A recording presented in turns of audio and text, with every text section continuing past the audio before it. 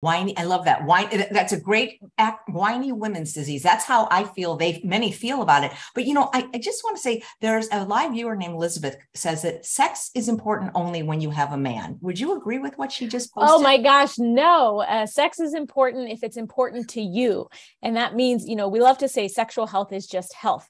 And so if you enjoy pleasure, if you enjoy intimacy, if you enjoy orgasm, if you enjoy relaxation, if you enjoy all of those things, sensuality, you deserve that, whether you're alone, whether you're with partners. Um, and it's really, it's what you want. So sexual medicine is, so I'm a sec, I'm a urologist, but I am a sexual medicine trained provider, which means that I take care of all genders and I deal with quality of life issues that are, that deal with sex. So pelvic pain, libido, orgasm, arousal problems.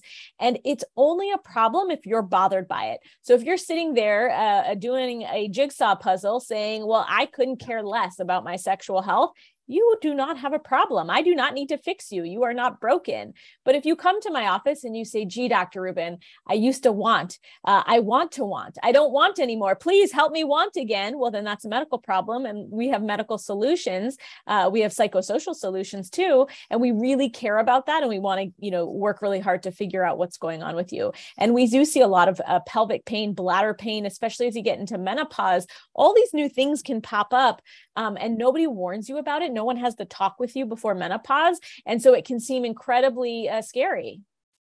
I so, another, so too. Another thing that I hear a lot from ladies of a certain age is painful sex and what can be done about that.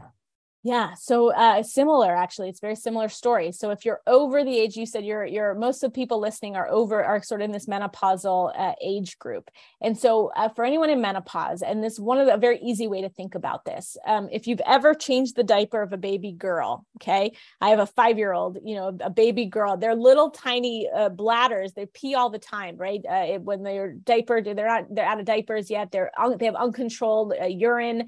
Their vulvas are raw, irritated, red it's t- teeny tiny, right? There's not, that's not a sexual place.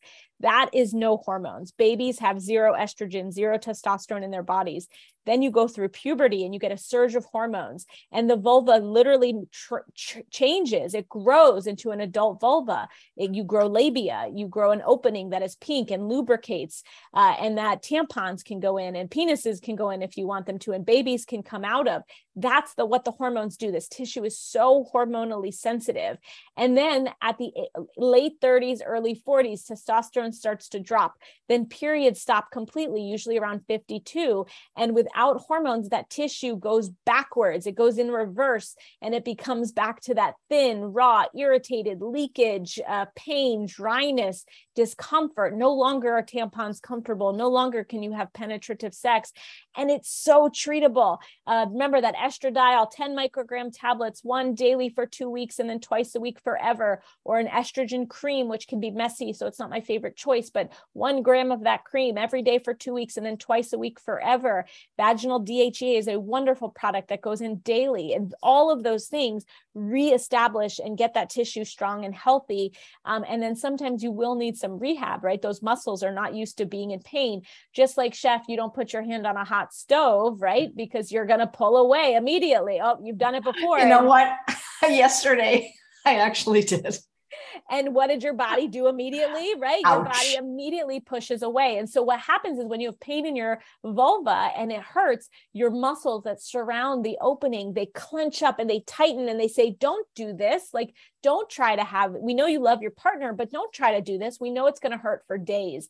And so sometimes you have to rehab those muscles once you get the tissue strong and healthy. So those are the most common. Of course, lubricant is wonderful and important. Actually, we often tell people just get that coconut oil that you cook with take some separate, uh, put it in the bedroom. Coconut oil can be a great lubricant. Um, moisturizers can be very helpful for women, but those are those are band-aids that you use on top of, you know, sort of fixing the problem, which is very safe and effective uh, local hormones. And so I know I'm becoming a broken record, um, but I think so many women are afraid for no reason because there's literally no harm. There is no harm at all.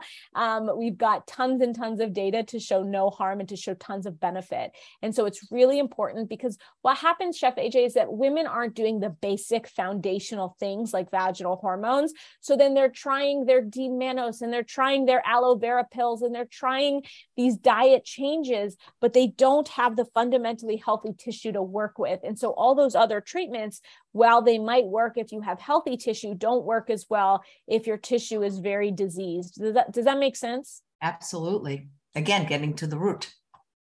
We actually have a question about male sexual health, or not. Yeah, sent in by Trish uh, for her male friend. And she wonders if it's true that erectile dysfunction is strongly correlated with the risk of developing dementia in later life. And if so, is it true for SSRI induced erectile dysfunction? Wow, she's got a good questions. She better sign up for my newsletter because she'll like the stuff that I put out on social media. So um, that's a loaded question. Uh, erectile dysfunction is actually a really important marker for overall health because if you are not getting blood flow to your penis, you're probably not getting blood flow to other places as well. The arteries to the penis are quite small, one millimeter compared to the heart arteries, which are three millimeters. So if you're clogging up the one millimeter arteries, the three millimeter arteries are probably going to clog later, but not too much later. So we do worry about heart attacks significantly in a guy with erectile dysfunction. And to your point about dementia, especially a vascular dementia, if you have problem getting enough blood flow to your brain, well, that certainly could be an issue as well. And so what's good for your heart, what's good for your brain, what's good for your health is good for the penis. It's good for sexual health. And so we love, you know, eating right, sleeping right, exercising, you know, making sure uh, that you're, you're, you don't have high cholesterol and things like that. Now, medications, and this goes for women, men, anybody, medications can affect sexual function.